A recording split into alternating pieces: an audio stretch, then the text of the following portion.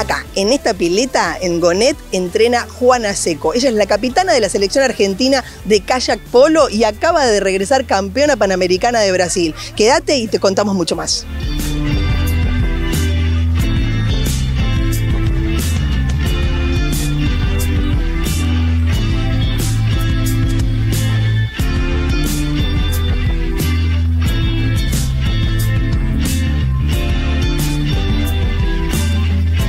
¿Qué es el kayak polo, Juana? El kayak polo es un deporte que roba, digamos, un poquito de, muchos deportes. Es un deporte que es un constante ataque y defensa en kayak que miden 3 metros.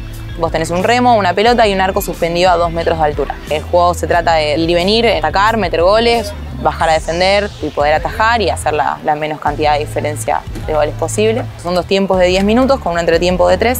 ¿Y tenés un solo minuto para, para atacar? Sí, eh, tenés un minuto de ataque y podés tener la pelota, vos, la posesión es de 5 segundos nada más. A los 5 Ah. segundos tenés que...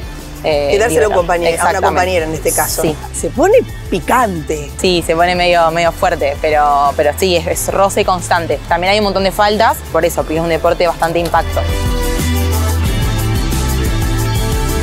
¿Cómo fue el Panamericano? Nosotros fuimos con la cabeza en, divertirnos, en sumar experiencias, si salía bien, joya, no sabíamos con qué nos íbamos a encontrar, porque si bien había análisis previos, eh, eran equipos nuevos también, entonces fuimos a dar lo mejor, a darlo todo, pero bueno, también estar preparadas por si no salía.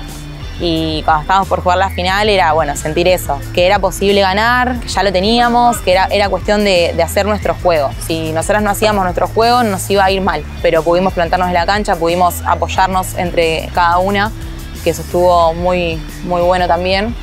Y después, bueno, esto de también un cuerpo técnico afuera que, que hace que todo sea más, más fácil y súper contenedor.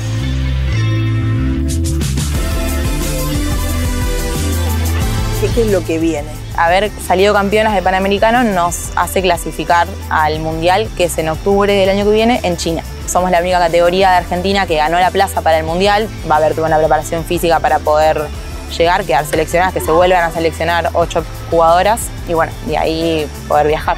¿Cómo acompañaron tus viejos en esta aventura? La verdad que muy bien. El acompañamiento de mi mamá es eh, increíble y, de mi abuela también. Y no solo a mí me pasa, sino que esto también. Cada, cada atleta está acompañado por una familia que banca en lo emocional y es importante. En cada competencia es muy importante el sostén familiar y de amigos y amigas. eh, eso sí, es, es destacable.